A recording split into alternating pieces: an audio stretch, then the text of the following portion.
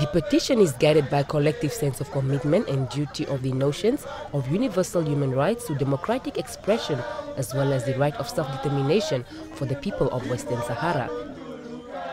As enshrined in the UN Charter, Article 2, 4, all members shall refrain in their international relations from the threat or use of force against the territorial integrity or political independence of any state or in any other manner inconsistent with the purposes of the United Nations.